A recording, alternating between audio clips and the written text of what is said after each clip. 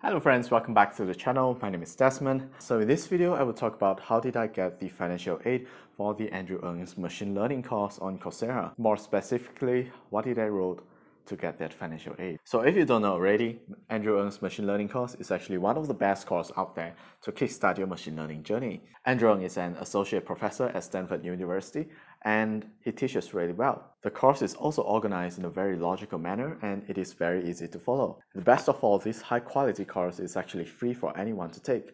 However, if you would like to get the certificate of completion, you will need to pay $79. But the good news is Coursera actually offers financial aid to anyone who needs the certificate but couldn't afford it. Now, to apply for the financial aid, there's a form that you need to fill, and there are three questions in that form.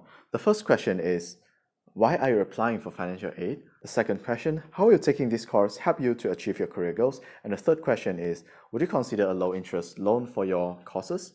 If no, help them understand why. For the first and second question, your answer should at least be 150 words. And for the last question, there's no limit on number of words. Now, I think I won't share my full answer with everyone because first, I think everyone has to at least earn it by yourself. And secondly, I think everyone has a different reasons to apply for the financial aid. But I'll roughly share about what did I wrote in the two paragraphs. So if you live in a third world country like me, you could say that the $79 course actually costs a lot more to us because we have to multiply it with the exchange rate in our country. For example, in Malaysia, it could cost four times as much. So it actually costs us about $320. At least it felt like that to us. And I also say that I'm a student studying in a university and I don't have any full-time income stream to pay for the course. So the fees are actually a burden to me. I also mentioned that, I'm not sure if I should say this, but um, I also mentioned that access to high quality education like this course in Coursera is actually very rare in our country.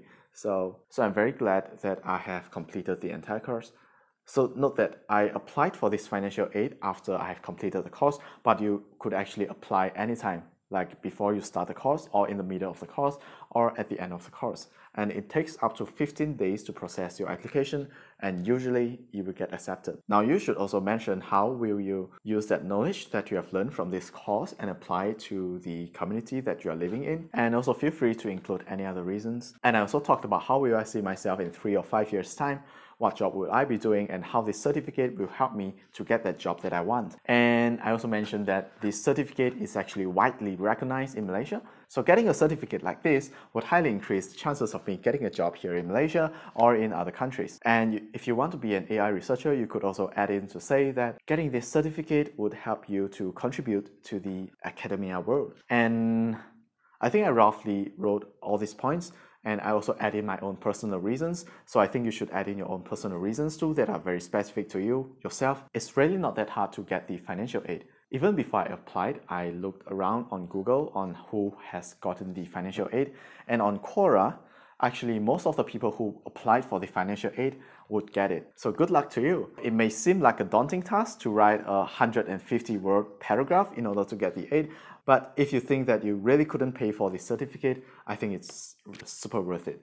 You just have to spend like one or two hours crafting your paragraphs and you could, you know, save up to 320 ringgit in Malaysia. I think you, you should really apply if you really want that certificate. So thank you so much for watching. I hope that this video will be helpful to you if you want to apply for the financial aid for Andrew Ng's machine learning course. I hope you get the financial aid at the end and wish you all the best. So see you guys in the next video. Bye bye.